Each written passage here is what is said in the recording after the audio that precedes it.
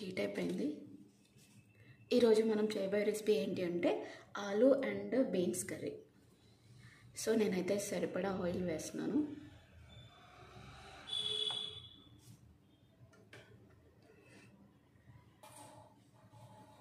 Oil heat అయిపోయింది.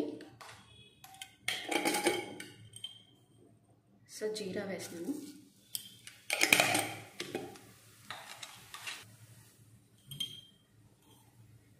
తాలింపు గింజలు నెక్స్ట్ వచ్చేసి పచ్చిమిర్చి. నెక్స్ట్ ఆనియన్ నెక్స్ట్ కరివేపాకు.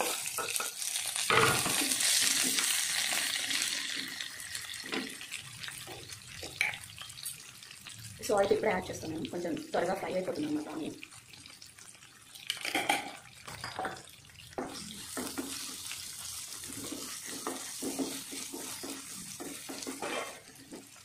సో మూత పెట్టేసుకున్నాం. అవి ఫ్రై అయిపో అయిపోతాయి. సో ఆనియన్ ఫ్రై అయిపోయింది. సో పసుపు వేస్తున్నాను.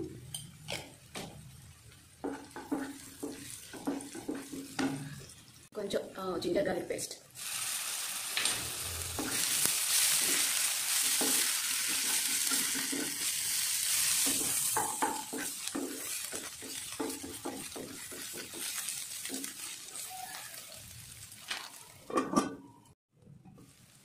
జింజర్ ఉల్లిగాని పేస్ట్ వేసాక టూ మినిట్స్ తర్వాత బీన్స్ వేసుకున్నాం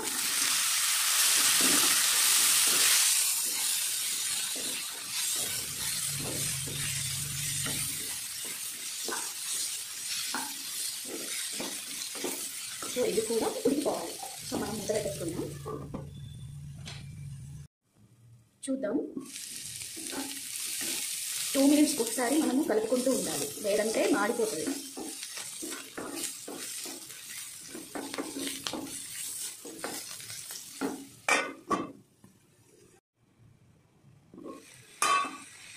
సో బీన్స్ కూడా ఉడికిపోయాయి.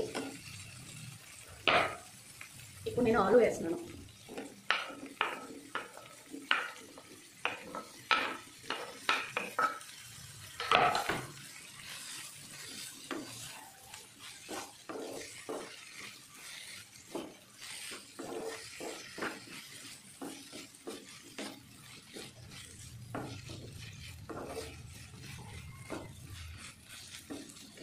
మూత పెట్టేద్దాం ఇది కూడా అంతే టూ మినిట్స్కి ఒకసారి మనం మిక్స్ చేసుకుంటూ ఉండాలి. లేదంటే మాడిపోతూ ఉంటుంది. సో మూత పెట్టేద్దాం. మళ్ళీ టూ మినిట్స్ తర్వాత మిక్స్ చేద్దాం. చూద్దాం. కుక్ అయిపోయింది మోస్ట్లీ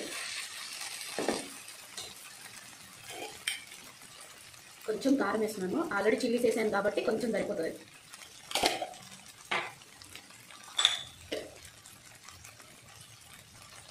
ఇది coriander powder so